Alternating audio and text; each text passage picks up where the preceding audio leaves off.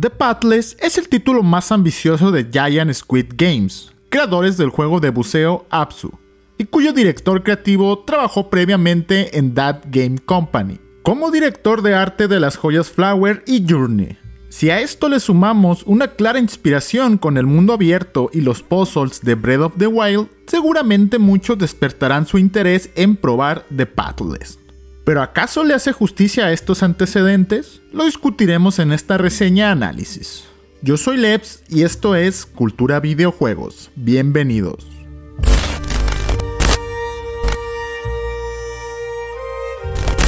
En el juego controlas a una cazadora con una gran habilidad en el uso del arco, la cual tiene la misión de remover la oscuridad maléfica que ha arrasado con una tierra ancestral.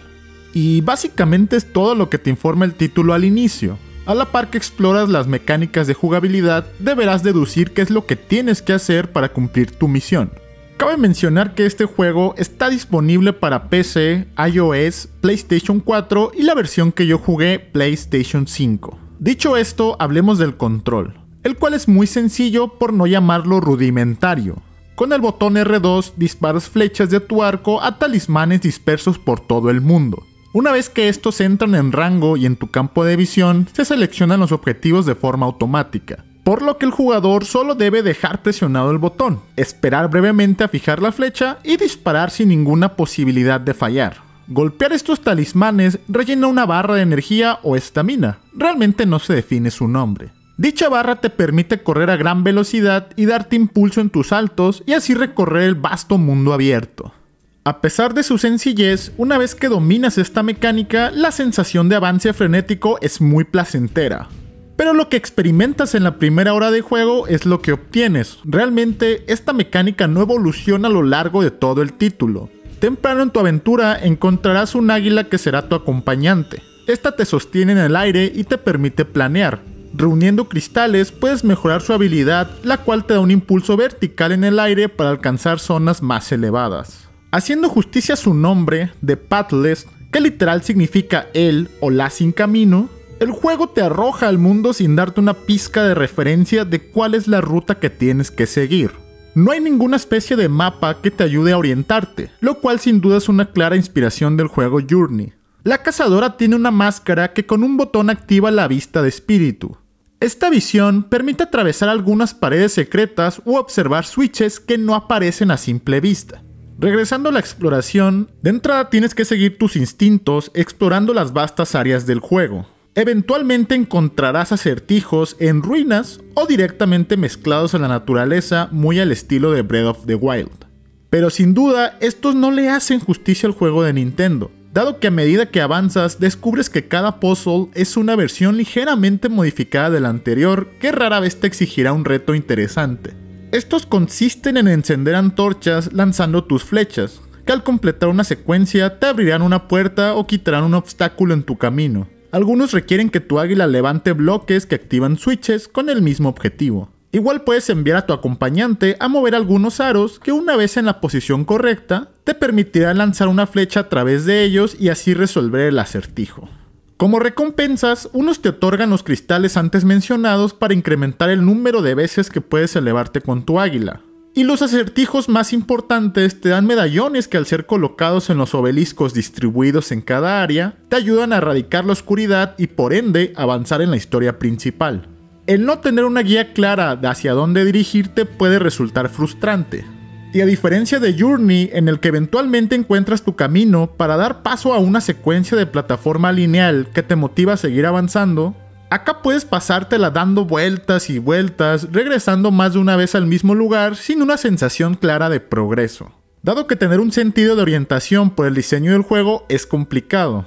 La realidad es que esto para mí no es necesariamente malo, dado que me fascina perderme en la exploración a la par que voy descubriendo todos los secretos del mundo. Sin embargo, aquí es donde encontré uno de los mayores problemas de The Pathless. Explorar lugares recónditos rara vez tiene una recompensa. El mundo, aunque precioso, constantemente se siente vacío. Aunado que usualmente como jugadores estamos acostumbrados a resolver acertijos en otros juegos que te recompensan al incrementar un gran abanico de habilidades o herramientas que se integran en la exploración. Eso desgraciadamente no sucede en este título. Afortunadamente, la visión de espíritu destaca en rojo aquellas áreas en las que tienes que erradicar la oscuridad, por lo que una vez alcanzando altura en un obelisco, puedes dirigirte directamente a resolver estos acertijos. El sentimiento de vacío en las amplias áreas sin duda también se magnifica con la ausencia de enemigos o potenciales amenazas que te mantengan interesado en un reto constante. De hecho, cada área tiene una bestia mítica rondando, la cual tienes que evitar, dado que no hay posibilidad de derrotarla hasta que limpies toda la oscuridad de la zona. Esto en el papel suena bien, pero en la ejecución me pareció una oportunidad desperdiciada. Realmente todo el tiempo sabes dónde está la bestia. Puedes decidir mantenerte alejado y explorar el área donde primero la localizaste una vez que se haya movido. Si por distraído logras entrar en su rango de dominio, simplemente debes moverte cuando la luz de su campo de visión no está sobre ti. Quedarte inmóvil evitará que te detecte, si bien esto fue anunciado como una mecánica de sigilo por los desarrolladores, sin duda me dejó mucho que desear. Erradicar la oscuridad de cada área te coloca en una pelea de jefe con cada una de las bestias correspondientes mencionadas anteriormente. De entrada se le hace honor al nombre de la protagonista, dado que literal tienes que cazar a estas bestias. Esto lo consigues al perseguirlas a gran velocidad hasta pegarles en sus puntos débiles y comenzar la batalla real.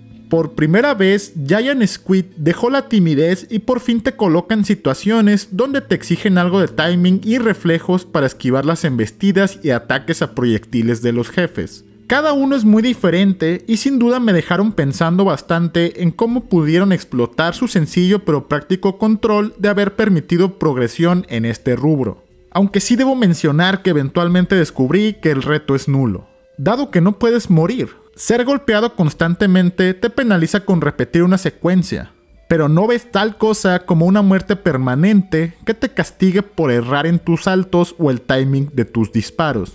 Parece que estoy siendo bastante severo al juzgar este título, pero simplemente soy honesto. Y es que mi reflexión reside en las expectativas que tenía del juego por sus brillantes antecedentes y modelos de inspiración. Pero haciendo a un lado lo que me haya gustado que fuera de lo que realmente es, la realidad es que este es un título a escala indie de mundo abierto bastante disfrutable. El juego corre de forma increíble con la opción modo resolución a 4K y 30 cuadros, o a 60 cuadros con una resolución más baja en modo desempeño en el PlayStation 5.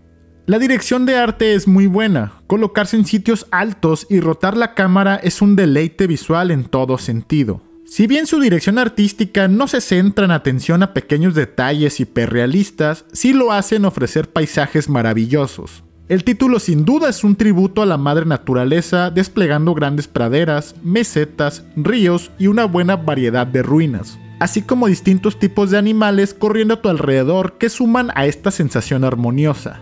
La música en mi opinión es bastante buena, logra emular un sentimiento de tranquilidad ancestral basada esencialmente en cuerdas y percusiones acústicas.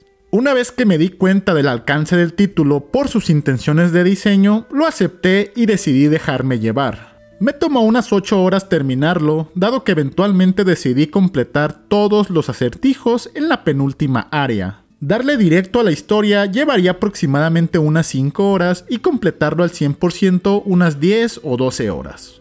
Como veredicto final, creo que el mayor pecado de The Pathless es su evidente ambición por la gran extensión y presentación de mundo abierto que tiene sumando los antecedentes e inspiraciones de sus creadores, que en mi opinión todo esto tuvo conflicto con la decisión de implementar un control demasiado simple sin sentido de progresión. Si eres de los que aprecian estos juegos indies centrados en su presentación artística, sincronizados con una excelente banda sonora, no pienses en entrarle y disfrutarlo sin prejuicios. Por más que pudiese parecer que no, realmente lo disfruté mucho, y atesoraré sus bellas postales como de las cosas más bonitas que hay que probar en este estreno de nueva generación de consolas.